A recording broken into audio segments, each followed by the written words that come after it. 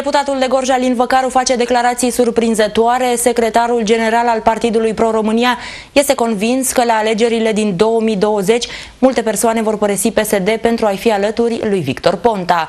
Văcaru spune că recrutarea la Gorj încă nu a început și mulți politicieni vor alege să treacă la Pro-România, însă nu o vor face în acest moment pentru că dețin diverse funcții politice și le-ar pierde dacă schimbă macazul înainte de alegerile din 2020.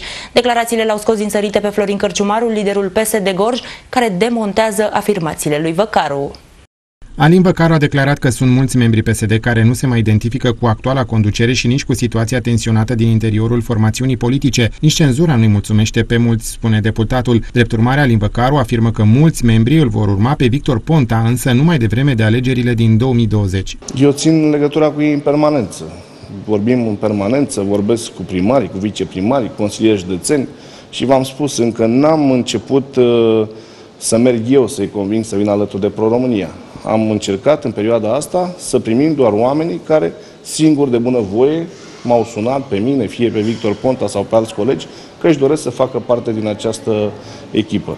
Și cu siguranță că înainte de alegerile în 2020, pentru că v-am spus foarte mulți dintre ei ocupă anumite funcții politice și aș pierde acele funcții, cu siguranță, cu șase luni înainte de alegerile în 2020, veți vedea și dumneavoastră persoane care vor fi alături de Victor Ponta.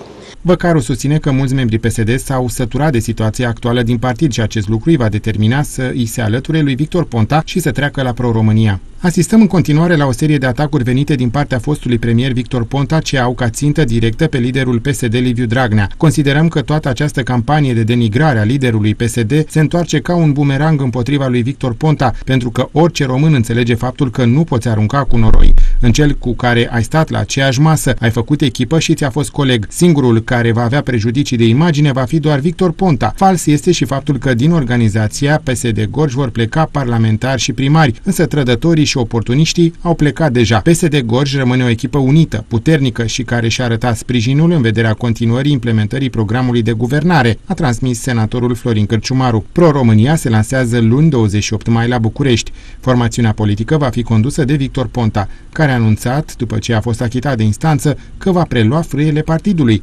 Deputatul Alin Văcaru a mai declarat că noua organizație a cooptat deja 11 deputați și în perioada următoare mai urmează și alții.